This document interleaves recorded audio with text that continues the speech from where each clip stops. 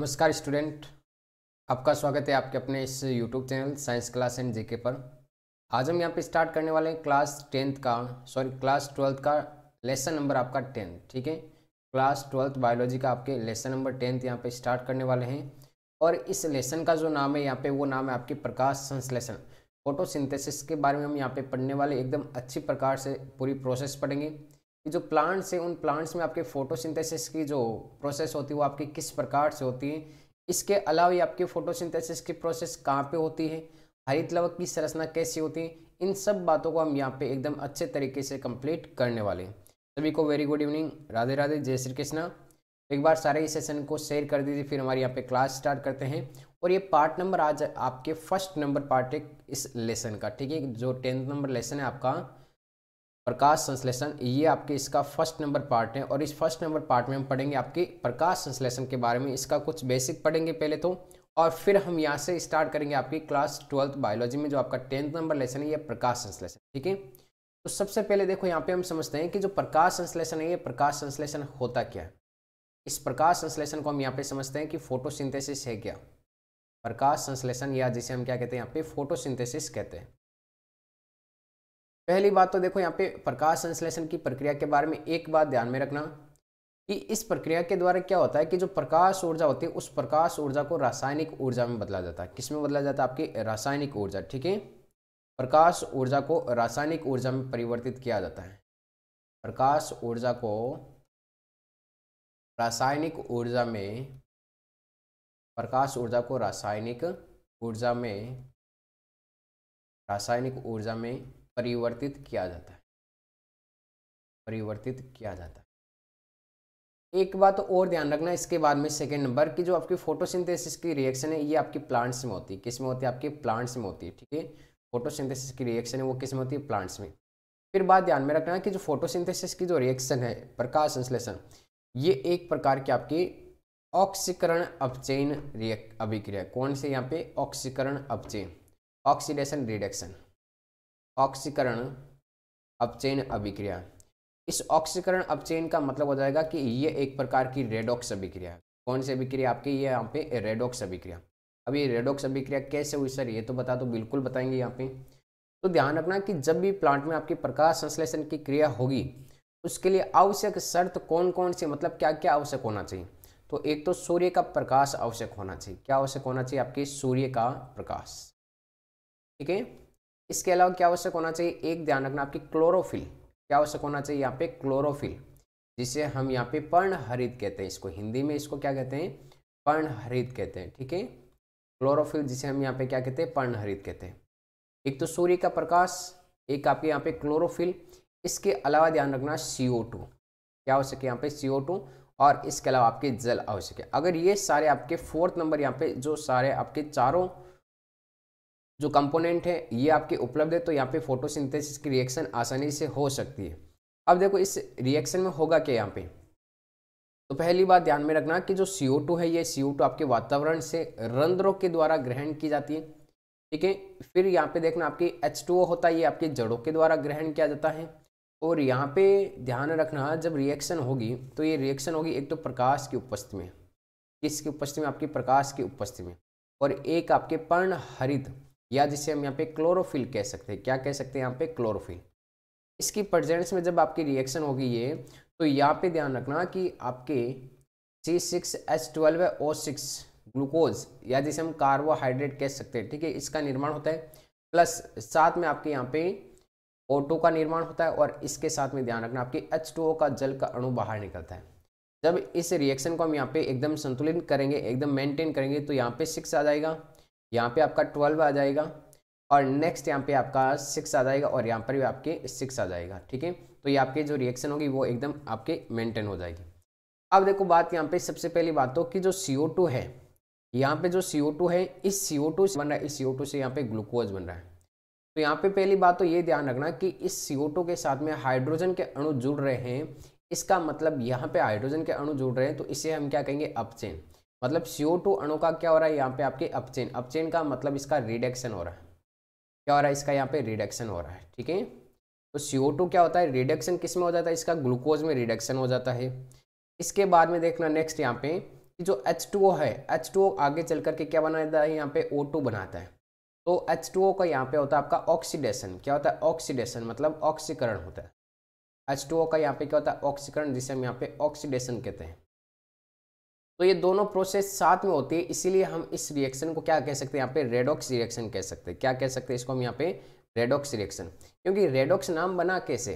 देखो यहाँ पे अपचेन में आपके आर ई डी नाम आ रहा है। अपचेन में क्या नाम आ रहा है? आपके आर ई डी नाम आ रहा है। और यहाँ पे ओ ऑक्सीडेशन में देखो ओ एक्स नाम आ रहा है तो इस प्रकार से आपके क्या नाम बन गया यहाँ पे रेडॉक्स मतलब जिसमें ऑक्सीडेशन और रिडक्शन दोनों साथ साथ में होती है वो प्रोसेस क्या कहलाते हैं आपके रेडॉक्स और ये आपकी एक प्रकार की जो फोटोसिंथेसिस की रिएक्शन है, वो कैसी रिएक्शन हो जाएगी यहाँ पे रेडॉक्स रिएक्शन हो जाएगी। ये बात तो आपको यहाँ पे समझ में आ गई। अब हम बात करते हैं यहाँ पे इसकी परिभाषा की, कि जो फोटोसिंथेसिस है, इसकी यहाँ पे डेफिनेशन क्या हो सकती है ना? तो डेफिनेशन देखो, जो मैंने यहाँ पे आपके सामने रिएक्शन लिखी है, इसी रिएक्शन के द्वारा हम इसकी डेफिनेशन बनाएँगे। कैसे? कि हरे पादप के द्वारा। कौन से पादपों के द्वारा? हरे पादपों द्वारा हरे पादपों द्वारा सूर्य के प्रकाश की उपस्थिति में, किसमें? सूर्य के प्रकाश की उपस्थिति में। सूर्य के प्रकाश की उपस्थिति में, सूर्य के प्रकाश की उपस्थिति में वायुमंडल से प्राप्त, कहाँ से प्राप्त आपके? वायुमंडल से प्राप्त, वायुमंडल से प्राप्त CO2 एवं मृदा से अवशोषित, एवं मृदा से अवशोषित, एवं मृदा से अवशोषित, एवं मृदा से अवशोषित H2O को H2O को शर्करा रूपी शर्करा रूपी रासायनिक ऊर्जा में शर्करा रूपी रासायनिक ऊर्जा में परिवर्तित करना। परिवर्तित करना परिवर्तित करना। प्रकाश संश्लेषण कहलाता है। क्या कहलाता है यहाँ पे? प्रकाश संश्लेषण कहलाता है। तो देखो, प्रकाश संश्लेषण की प्रक्रिया में हमारे सामने कुछ नाम है उन नाम को पहली बात तो यहाँ पे ध्यान रखना। कौन कौन से? एक हमारे सामने यहाँ पे नाम आया कि वायुमंडल से सी कि मतलब जो सी ग्रहण की जाती है, ये जो सी है, ये आपकी कहाँ से ग्रहण की जाती है? वायुमंडल से ग्रहण की जाती है। कहाँ से ग्रहण की जाती है? वायुमंडल से। फिर नाम आए यहाँ पे कि मृदा से आपके अवशोषित एच टू एच टू का मतलब जल तो आपका जो जल है, ये जल कहाँ से ग्रहण किया जाता है? आपके मृदा से, जड़ों के द्वारा ग्रहण किया जाता है। तो ये दो कंपोनेंट तो काम, कहाँ से मिलते हैं? वायुमंडल और आपके मृदा से मिलते हैं। तो इन दोनों की क्रिया के द्वारा, इसके अलावा यहाँ पे क्या होता है? आपके प्रकाश और आपके यहाँ पे क्लोरोफिल होता है। तो क्लोरोफिल रहेगा तो पादप अपने आप हरे रहेंगे। इसके द्वारा यहाँ पे शर्करा का निर्माण हो जाता है। किसका निर्माण हो जाता है? यहाँ पे शर्करा का निर्माण हो जाता है। ये आपके प्रोसेस क्या कहलाती है? यहाँ पे प्रकाश संश्लेषण कहलाता है। ये क्या कहलाता है यहाँ पे? प्रकाश संश्लेषण, जिसे हम यहाँ पे फोटोसिंथेसिस कह सकते हैं। कंप्लीट है बात यहाँ पे प्रकाश संश्लेषण के बारे में। ये थोड़ा बहुत आपको यहाँ पे समझ में आया, जो भी मैंने बताया था। अब देखो नेक्स्ट बात ध्यान रखना यहाँ पे कि जो प्रकाश संश्लेषण के आपके इस बुक में इतिहास दिया गया है, ठीक है, वो आपको हिस्ट्री नहीं पढ़नी है। स्टोरी ऑफ़ आपके जो फोटोसिंथेसिस है, वो टॉपिक आपको नहीं पढ़ना क्योंकि वो आपके सिलेबस यहाँ से हटा दिया गया है, ठीक है। तो इसके बाद में देखो, हमारे सामने यहाँ पे आपके मेन जो प्रोसेस आती है कि सर ये प्रकाश संश्लेषण की जो प्रक्रिया है, वो प्रक्रिया होती कहाँ पे? होगी पादप में, लेकिन पादप के कौन से भाग में होगी? ये तो पता रहना चाहिए कि पादप के कौन से भाग में आपके प्रकाश संश्लेषण की प्रक्रिया होगी। क्या सभी भागों में प्रकाश संश्लेषण की प्रक्रिया होती है, या फिर आपकी कुछ एक भागों में आपकी प्रकाश संश्लेषण की क्रिया होगी? और अगर प्रकाश संश्लेषण की क्रिया होगी तो वो कैसे होगी? ठीक है? तो उस सारी प्रोसेस को हम यहाँ पे समझने वाले तो इसके लिए एक बात ध्यान रखना यहाँ पे कि आपके सामने ये डायग्राम दिया गया तो ये डायग्राम है किसका? मैं थोड़ा बहुत आपको पहले इसमें हिंट दे दूँ। मतलब अब जो हमारा यहाँ पे टॉपिक है, वो टॉपिक रहेगा कि प्रकाश संश्लेषण का स्थल। क्या रहेगी हमारे यहाँ पे हेडिंग प्रकाश संश्लेषण का स्थल। प्रकाश संश्लेषण का स्थल। मतलब पादपों में किस भाग में आपके फोटोसिंथेसिस की रिएक्शन होगी? अब देखो यहाँ पे प्रकाश संश्लेषण के स्तर में पहली बात तो ध्यान रखना कि जो प्रकाश संश्लेषण होगा, वो होगा यहाँ पे आपके हरित लवक में। कहाँ पे होगा? हरित लवक। अब ये हरित लवक कहाँ पे होता है? तो पादप के जितने भी हरे भाग होते हैं, ध्यान रखना, पादप के जितने भी हरे भाग होते हैं, वहाँ पे क्लोरोप्लास्ट पाया जाता है। इसी हरित लवक को ध्यान रखना क्लोरोप्लास्ट कहा जाता है। क्या कहा जाता है? आपके क्लोरोप्लास्ट तो इस क्लोरोप्लास्ट में यहाँ पे आपके फोटोसिंथेसिस की रिएक्शन होगी। मतलब मुख्य रूप से जो अंग है आपके, यहाँ पे प्रकाश संश्लेषण का, वो कौन सा यहाँ पे हरित लवक ये तो ये हो गया आपका प्रकाश संश्लेषण का मुख्य अंग। प्रकाश संश्लेषण का मुख्य अंग। प्रकाश संश्लेषण का मुख्य अंग। तो फोटोसिंथेसिस का जो मुख्य अंग है, वो कौन सा हो गया? आपके हरित लवक तो प्रकाश संश्लेषण के लिए आपके हरित लवक में होगी। अब देखो ये हरित लवक कहाँ पे पाया जाता है? तो आपके सामने ये डायग्राम, इस डायग्राम को देखना। ये हमारे सामने यहाँ पे लीफ पत्ती है। इस पत्ते की जब संरचना देखते हैं तो इस पत्ते की संरचना में ऊपर वाली एपिडर्मिस हो जाएगी। ये आपके लोअर एपिडर्मिस हो जाएगी। इनके मध्य कुछ कोशिकाएँ पाई जाती है। उन कोशिकाओं को कहते हैं यहाँ पे मीजोफिल कोशिका। उन कोशिकाओं को क्या कहते हैं यहाँ पे मीजोफिल कोशिका।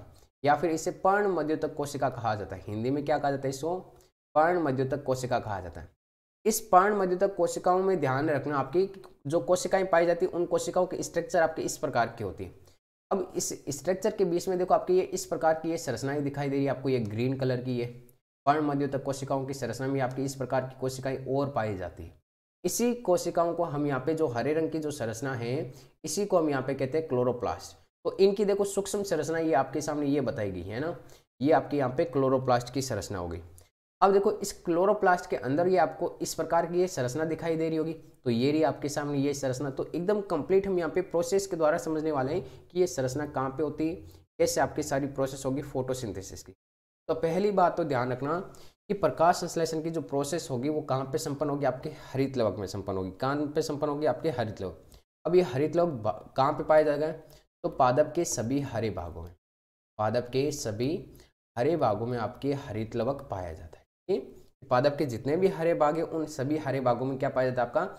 हरित लवक जिसे हम क्लोरोप्लास्ट कहते हैं, वो पाया जाता है। अब ये होगा क्या, कहाँ पे ध्यान रखना? ये पाया जाएगा आपके पर्ण मध्योतक कोशिकाओं में। कहाँ पे पाया जाएगा आपके? पर्ण मध्योतक कोशिकाओं में पाया जाएगा, ठीक है? पर्ण मध्योतक कोशिकाओं में पाया जाएगा।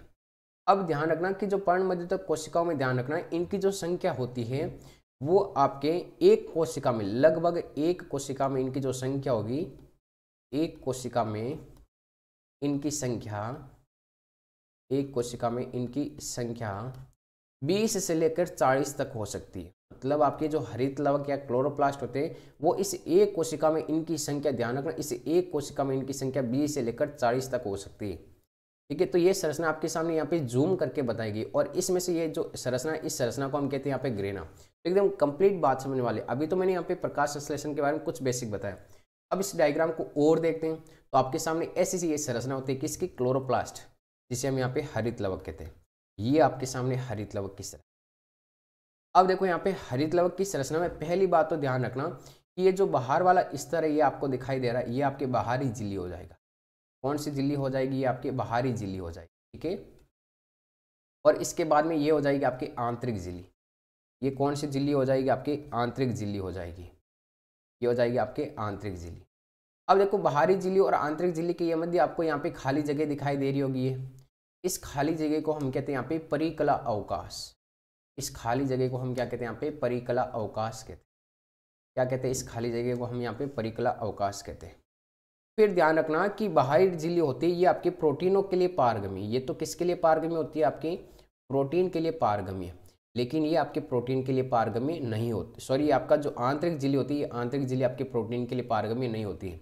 लेकिन बाहरी झिल्ली क्या होगी? आपके प्रोटीन के लिए पारगमी होगी। Very good evening Rohit Yadav अब देखो, कुछ बातें और मैं बता रहा हूँ। जैसे हम यहाँ पे बाहरी झिल्ली और आंतरिक झिल्ली के बाद में जब अंदर प्रवेश करते हैं तो अंदर यहाँ पे एक आपके द्रव भरा होता है। क्या भरा होता है? एक आपका द्रव भरा होता है। और इसी द्रव को हम क्या कहते हैं? यहाँ पे स्ट्रोमा कहते हैं। क्या कहते हैं इसको हम स्ट्रोमा कहते हैं? ठीक है? क्या कहते हैं? यहाँ पे स्ट्रोमा अब देखो, इसी स्ट्रोमा के अंदर, आंतरिक भाग के अंदर ध्यान रखना कि कुछ क्षेत्र दिखाई देते हैं। आपको ये इस प्रकार की ये संरचना दिखाई दे रही होगी, ये आपके इस प्रकार की। ये संरचना दिखाई दे रही होगी। अब इन संरचनाओं को कहते क्या? पहली बात तो ये ध्यान होनी चाहिए। तो इन संरचना, सर हाँ वो आज नहीं आने वाले ना। तो यहाँ पे देखो, इन संरचनाओं में जो आपके एक ये जो संरचना स्थिति के कमान अब इस सिक्के समान संरचना मतलब आपकी इस प्रकार की जो एक संरचना है, इस संरचना को हम कहते हैं यहाँ पे थाइलेकोइड इस एक संरचना को हम क्या कहते हैं यहाँ पे? थाइलेकोइड कहते हैं। क्या कहते हैं? थाइलेकोइड या फिर इस थाइलेकोइड को हिंदी में कहते हैं यहाँ पे कोष तुल्य क्या कहा जाता है? इस थाइलेकोइड को यहाँ पे कोष तुल्य कहा जाता है। तो ध्यान रखना कि जो जैसे हम इस क्लोरोप्लास्ट के आंतरिक भाग में प्रवेश करते हैं तो यहाँ पे इस प्रकार के एक सिक्के के समान ये संरचना पाई जाती है आपकी इस प्रकार की ये नीचे वाली, ठीक है? तो इसे हम कहते हैं यहाँ पे थाइलेकोइड कहते हैं। इस ए को क्या कहते हैं? थाइलेकोइड जब यहाँ पे थाइलेकोइड, अनेक प्रकार के थाइलेकोइड आपके इस प्रकार के सिक्के के जेड के समान एक आपके इस प्रकार से एकत्रित हो जाते हैं तो एक अलग संरचना का निर्माण करते हैं। मतलब एक सिक्कों के ऊपर जिस प्रकार सिक्के, हम कैसे इकट्ठे करते हैं, वैसे आपके थाइलेकोइड की ये संरचना है, ये आपके एकत्रित हो जाए तो एक विशिष्ट संरचना का निर्माण करते हैं और उस विशिष्ट संरचना को हम यहाँ पे क्या कहते हैं, ग्रेनम कहते हैं। ये आपके सामने यहाँ पे ग्रेनम है। ये क्या यहाँ पे ग्रेनम। तो ये पूरा का पूरा एक क्या बन जाएगा, यहाँ पे ग्रेनम बन जाएगा। क्या बन जाएगा, यहाँ पे ग्रेनम। और ये, ऐसे अनेक सारे ग्रेनम यहाँ पे उपस्थित होते हैं। तो इन सारे ग्रेनम को क्या कहेंगे? सम्मिलित रूप से यहाँ पे ग्रेना कहा जाता है। इनको सम्मिलित रूप से यहाँ पे क्या कहा जाता है? आपकी ग्रेना कहा जाता है, ठीक है? तो एक जो संरचना है, ध्यान रखना, ये जो एक संरचना है ना, पूरी संरचना ये, इस पूरी संरचना को ग्रेनम और सभी को हम सम्मिलित रूप से यहाँ पे क्या कहेंगे? ग्रेना कहेंगे। और एक जो सिक्के के समान, एक जो सिक्का ऐसा मान लो कि एक सिक्का एक सिक्के को हम क्या कहेंगे? यहाँ पे थाईलिक्विड कहेंगे। तो थाईलिक्विड के बारे में कंप्लीट हो गया कि थाईलिक्विड क्या होता है? मतलब जो आपके इस हरित लव के अंदर जैसे ही प्रवेश करते हैं तो सिक्कों के समान जो संरचना दिखाई देती है, उस एक सिक्के नुमा जो संरचना होती है, उसे हम थाइलेकोइड कहते हैं। और इस प्रकार अनेक सारे थाइलेकोइड एक के ऊपर एक आपके व्यवस्थित होते जाते हैं और एक ग्रेनम का निर्माण करते हैं और अनेक सारे ग्रेनम को हम क्या कहेंगे, यहाँ पे ग्रेना कहेंगे। कंप्लीट है बात यहाँ तक तो। अब देखो नेक्स्ट बात यहाँ पे। ये जो ग्रेना होते हैं आपके बीच में देखो, ये आपके जुड़े हुए इस प्रकार से। ये आपके बीच में जो ग्रेना है, ये आपके जुड़े हुए हैं। अब किसके द्वारा जुड़े हुए हैं? तो इस प्लेट को ध्यान रखना कि जिसके द्वारा ये आपस में ये जुड़े हुए होते हैं, उसे हम कहते हैं यहाँ पे स्ट्रोमा पटलिका। इसको हम क्या कहते हैं यहाँ पे? स्ट्रोमा पटलिका कहते हैं। स्ट्रोमा पटलिका कहते हैं। कि ग्रेनम जिसके द्वारा जुड़े होते हैं आपस में, आपके एक फाइबर के द्वारा, उसे हम क्या कहेंगे यहाँ पे? स्ट्रोमा पटलिका कहेंगे। फिर बात ध्यान रखना है यहाँ पे कि जो थाइलेकोइड है, इस थाइलेकोइड में कुछ आपके वर्णक उपस्थित होते हैं यहाँ पे ठीक है थाइलेकोइड इस थाइलेकोइड में यहाँ पे वर्णक उपस्थित होते हैं, सारे थाइलेकोइड में यहाँ पे। इस प्रकार से कुछ वर्णक उपस्थित होते हैं। और ये जो वर्णक है, ये वर्णक है कौन से? तो ये आपके पर्णहरित वर्णक है। कौन सा यहाँ पे पर्णहरित? या फिर एक तो पर्णहरित होता है और एक आपका केरोटिनोइड्स होता है। एक कौन सा होता है आपका? केरोटिनोइड्स होता है, ठीक है?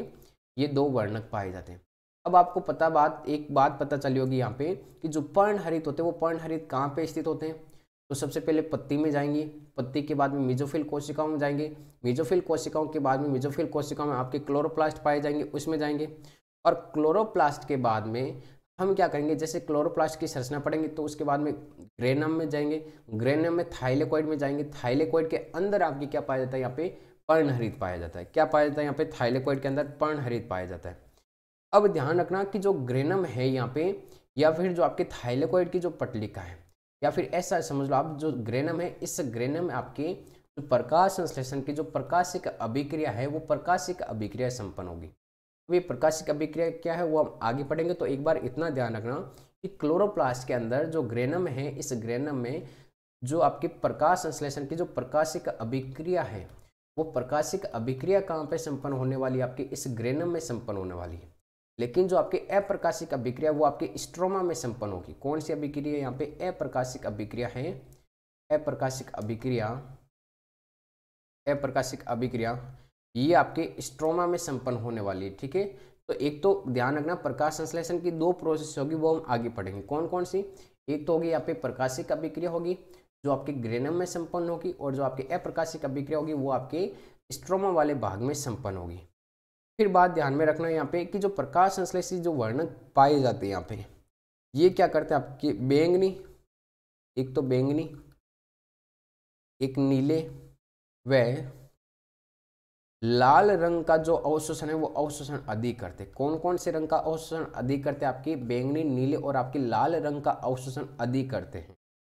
तो इसीलिए यहाँ पे ध्यान रखना, ये क्या करते हैं? इस रंग का अवशोषण करते हैं तो ये आपके 400 से लेकर 400 एनएम से लेकर 700 एन तक के तरंग दैर्ध्य का जो भी प्रकाश होगा, उस प्रकाश को क्या कर लेते? अवशोषित कर लेते। एक तो बैंगनी, नीले व लाल रंग, इसके अलावा 400 से 700 एन तरंग दैर्ध्य के बीच का जो प्रकाश रहेगा, उसको क्या कर लेगा? अवशोषित कर लेगा। कौन कौन पर्णहरित और आपके कैरोटिनोइड्स तो ये अवशोषण की जो प्रक्रिया होती है यहाँ पे तो इसमें ध्यान रखना, इस भाग को कौन सा भाग जो आपके पर्णहरित और आपके कैरोटिनोइड्स उपस्थित होते हैं, जिसमें आपके बैंगनी, नीले और लाल रंग का अवशोषण होता है इस भाग को हम यहाँ पे कहते हैं प्रकाश संश्लेषण। इस भाग को हम कहेंगे यहाँ पे प्रकाश संश्लेषण, सक्रिय प्रकाश संश्लेषण, सक्रिय विकिरण। प्रकाश संश्लेषण, सक्रिय विकिरण, और शॉर्ट में इसे कहते हैं हम P A R photosynthetical active reaction क्या कहेंगे यहाँ पे? फोटोसिंथेटिकल एक्टिव रेडिएशन ठीक है? मतलब सक्रिय विकिरण एक्टिव रेडिएशन तो यहाँ पे ध्यान रखना, पर्णहरित के जो भाग होता है, उस भाग को हम क्या कहते हैं, यहाँ पे पी ए आर प्रकाश संश्लेषण सक्रिय विकिरण फोटोसिंथेटिकल एक्टिव रेडिएशन कहा जाता है। ठीक है, यहाँ तक तो ये बात समझ में आ गई अब आपको। अब देखो नेक्स्ट हम बात करते हैं यहाँ पे, एक वैज्ञानिक आता है और उस वैज्ञानिक का नाम है आपके पार्क एवं पान पार्क वेब पान ये आपके भाई एक वैज्ञानिक का नाम है, ठीक है? ऐसा नहीं है कि कोई पार्क है और पार्क में पान की दुकान है। ये आपके वैज्ञानिक के नाम है। अब इस वैज्ञानिकों ने क्या बताया कि जो थाइलेकोइड होता है, ये आपके जो एक थाइलेकोइड पाई जाती है, जैसे कि यहाँ पे एक थाइलेकोइड होती है। ये जो थाइलेकोइड है, इसने बताया कि थाइलेकोइड के अंदर आपकी सूक्ष्म कणिकाएँ पाई जाती है, ऐसी छोटी छोटी आपके कुछ कणिकाएँ पाई जाती है थाइलेकोइड के अंदर, ठीक है? और इन्हीं कणिकाओं को क्या नाम दिया गया यहाँ पे क्वांटासोम, क्या नाम दिया गया इनको? क्वांटासोम नाम दिया गया। कि थाइलेकोइड की झिल्ली के अंदर कुछ कणिकाएँ पाई जाती है, उन्हीं कणिकाओं को क्या नाम दिया गया यहाँ पे क्वांटासोम नाम दिया गया और ये प्रकाश संश्लेषण की इकाई है। मतलब ये क्वांटासोम है इसी को क्या कहा गया यहाँ पे? कि प्रकाश संश्लेषण की यह इकाई है। प्रकाश संश्लेषण की इकाई। प्रकाश संश्लेषण की इकाई बताया गया है। किसे बताया गया यहाँ पे क्वांटासोम को क्या बताया गया यहाँ पे प्रकाश संश्लेषण की इकाई बताया गया और ये जो इकाई है, एक क्वांटासोम में ध्यान रखना। मतलब जो एक क्वांटासोम है, उस एक क्वांटासोम में 230 सौ यहाँ पे नेक्स्ट पेज पर लिख देता हूँ, है ना? देखो, एक जो क्वांटासोम होता है, एक क्वांटासोम एक क्वांटासोम में क्या क्या होगा ध्यान रखना? 230 आपके पर्ण हरित अणु पाए जाएँगे। 230 तो क्या होंगे? आपके पर्ण हरित अणु पाए जाएँगे। इसके अलावा ध्यान रखना, आपकी 40 48 आपके कैरोटिनोइड्स होंगे। कैरोट कैरिटिनोइड्स ठीक है? कैरिटिनोइड्स 48 क्या होंगे? यहाँ पे कैरिटिनोइड्स होंगे। इसके अलावा ध्यान रखना कि 46 आपके क्वीनोन होंगे। ये आपके अलग अलग प्रकार के यहाँ पे अणु पाए जाते हैं वही इसमें ध्यान रखना। और एक आपके 116 प्रकार के यहाँ पे फॉस्फोलिपिड पाए जाते हैं। क्या पाए जाते हैं? आपके फॉस्फोलिपिड पाए जाते हैं। तो ये इतने सारे यहाँ पे इसमें अणु पाए जाते हैं, ध्यान रखना किसमें एक क्वांटासोम। और क्वांटासोम का मतलब क्या होता है कि जो थाइलेकोइड की झिल्ली होती है, इसमें छोटे छोटे अणु पाए जाते हैं, उन्हीं को क्या नाम दिया गया? आपके क्वांटासोम नाम दिए गए ये बात हुई यहाँ पे आपके प्रकाश संश्लेषण का जो स्थल था, क्लोरोप्लास्ट, उस क्लोरोप्लास्ट के बारे में। अब देखो, क्लोरोप्लास्ट के बारे में एक बार मैं वापस समझा देता हूँ आपको कि बाहर वाला स्थल आपके आउटर मेम्ब्रेन, अंदर वाला आपके इनर मेम्ब्रेन। और इन दोनों के बीच में जो खाली जगह पाई जाती है, उसे हम कहते हैं यहाँ पे परिकला अवकाश। उनको, उसको हम क्या कहते हैं? यहाँ पे परिकला अवकाश कहते हैं। फिर ध्यान रखना कि अंदर आपके स्ट्रोमा वाला भाग होता है, खाली भाग। इसके अलावा कुछ संरचनाएँ पाई जाती हैं। उन संरचनाओं में से एक जो ये सिक्के के समान जो संरचना है, उसे हम क्या कहते हैं? यहाँ पे थाइलेकोइड कहते हैं। क्या कहते हैं यहाँ पे? थाइलेकोइड कहते हैं, ठीक है? और एक जो ये विशेष संरचना, एक जो पूरी संरचना बनी हुई, ये जो पूरी संरचना, इस एक पूरी संरचना को हम यहाँ पे ग्रेनम कहते हैं। और इसके अलावा ये जो सारी संरचना, ये अनेक सारे इनका जो ग्रुप होगा, वो कहलाएगा ग्रेना अब इस ग्रेनम में ध्यान रखना कि प्रकाश संश्लेषण की जो प्रकाशिक अभिक्रिया है प्रकाश संश्लेषण की जो प्रकाशिक अभिक्रिया, वो आपके ग्रेनम में संपन्न होगी।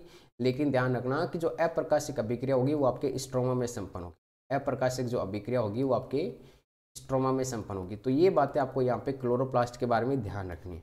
अगर ये बातें आपको सबको समझ में आ गई तो एक बार थम्सअप कर दीजिए भैया ना। अगर ये बातें आपको समझ में आ गई तो एक बार थम्सअप कर दीजिए।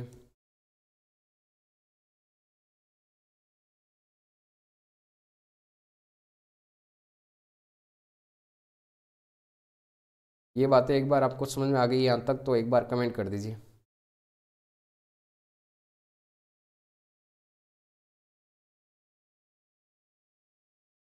समझ में आ गई है ना? अब देखो, इसके बाद में नेक्स्ट हम पढ़ते हैं यहाँ पे प्रकाश संश्लेषी वर्णक। हमारी जो नेक्स्ट हेडिंग आती है, वो हेडिंग आती है आपके प्रकाश संश्लेषी वर्णक के बारे में। किसके बारे में हेडिंग आती है? प्रकाश संश्लेषी वर्णक। प्रकाश संश्लेषी वर्णक। अब देखो यहाँ पे प्रकाश संश्लेषी वर्णक में हमें क्या ध्यान में रखना है, इसमें क्या क्या पढ़ना है, पहली बात तो है ना? एकदम अच्छे से पूरा एकदम प्रॉपर रूप से मैं करूँगा, आपको टेंशन लेने की ज़रूरत नहीं। पहली बात तो ध्यान रखना यहाँ पे कि कुछ वर्णक पाए जाते हैं जो क्या करते हैं, पात्र प्रकाश ऊर्जा का अवशोषण किसके द्वारा किया जाता है? आपके वर्णकों के द्वारा।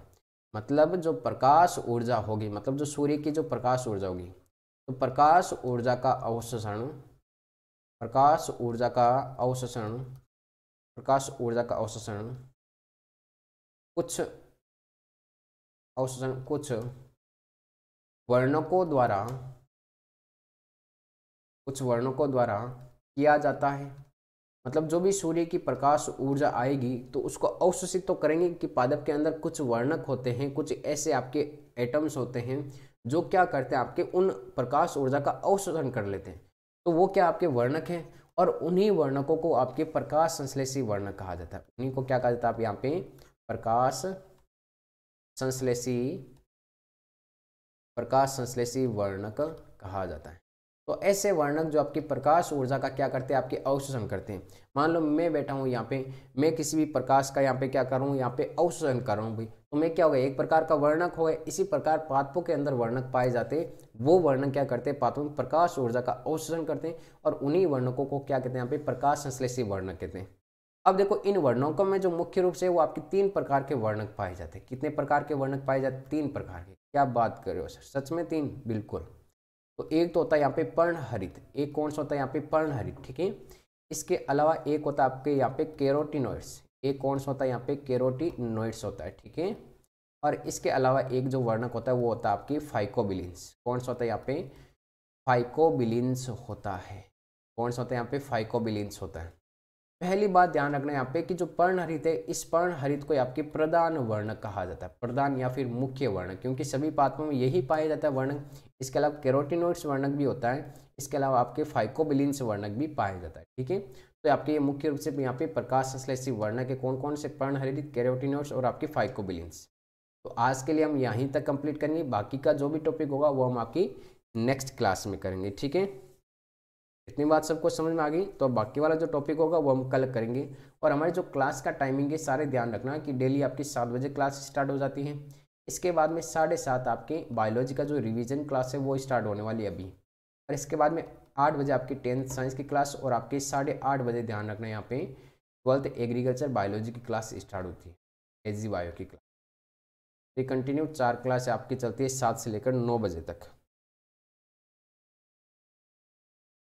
तो ऐसे हम पूरा एकदम कॉन्सेप्ट के साथ में हर एक टॉपिक को, इस प्रकार संश्लेषण वाले टॉपिक को एकदम आसान तरीके से हम यहाँ पे कंप्लीट करने वाले बस आप रिवाइज करते रहना पीछे वाला कि आपके माइंड में रहे, क्योंकि यही जो कॉन्सेप्ट है, यही आपके वापस आगे काम में आने वाले हैं।